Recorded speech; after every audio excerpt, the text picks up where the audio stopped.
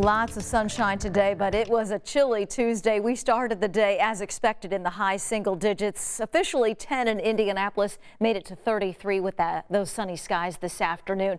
It is clear and chilly right now, 31. Winds out of the south southwest at 14 brings the wind chill down to 21.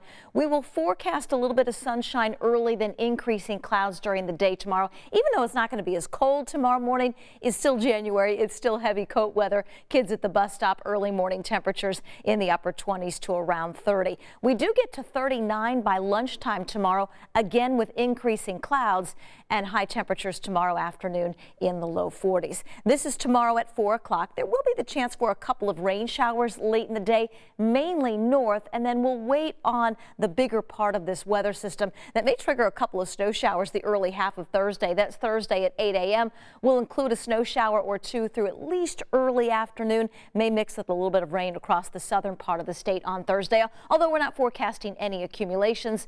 Friday forecast has clouds and temperatures in the mid 30s, and then we will wait on this weather system that you see out to our west. How it holds together, the latest track will be keys to how much snow, if any, we get as we start the weekend. This is Friday night at 11 o'clock. Leading edge of the weather system arrives, and at least at this point, there is the chance for some snow. We will keep you updated on the track and the potential for any snow totals. 46 degrees tomorrow afternoon, a stray rain shower late in the day. A couple snow showers around. No accumulation on Thursday, mainly cloudy 36. Colder weekend with that snow chance early Saturday.